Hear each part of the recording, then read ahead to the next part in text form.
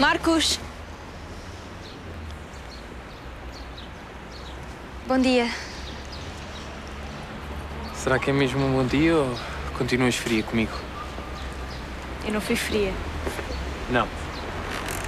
Apenas te disse aquilo que sentia. Pois e continuas a sentir o mesmo? É que eu estava a pensar que podíamos aproveitar o intervalo grande para. Para passear? Para bebermos um leite com chocolate? Eu estava a pensar numa coisa mais picante.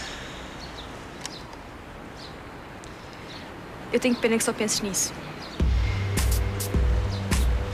Pitinha não é tão parva como parece. Vera! Desculpa, princesa. É que as cenas têm andado um bocado maradas para o meu lado e tenho andado nervoso com os estresses. E às vezes acabo por dizer o que não devo, desculpa. Eu não te percebo. Eu tenho sido um estúpido, desculpa. Marcos, há dias em que estamos super bem, mas depois há outros em que tu dizes. razão. Eu sou um estúpido, desculpa. Desculpas.